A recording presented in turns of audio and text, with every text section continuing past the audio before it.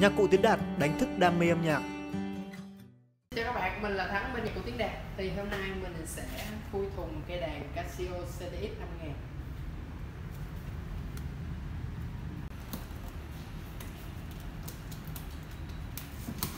5000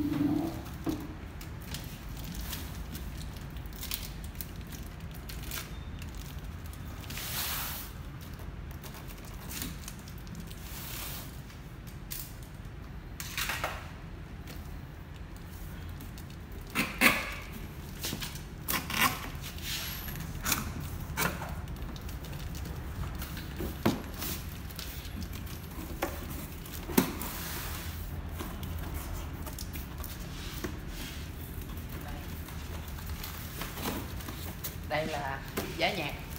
À, trong giá thì nó sẽ có là sách hướng dẫn sử dụng.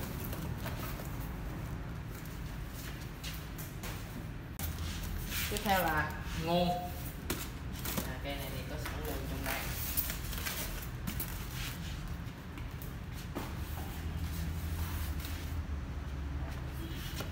cuối cùng là đàn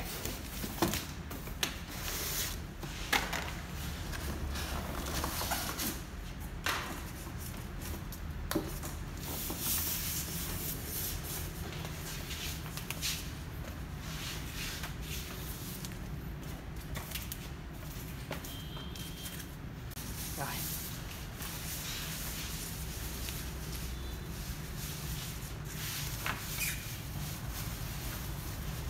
Đây. Trước mắt chúng ta. Đặt cái tháo này ra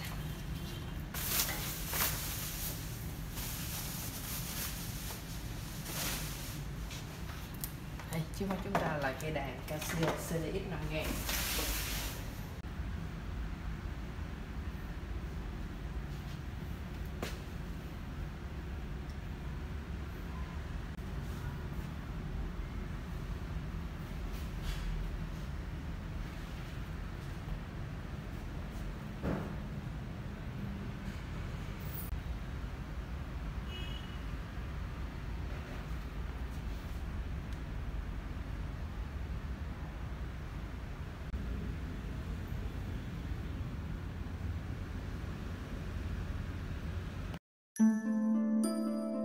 Thế giới nhạc cụ là Tiến Đạt.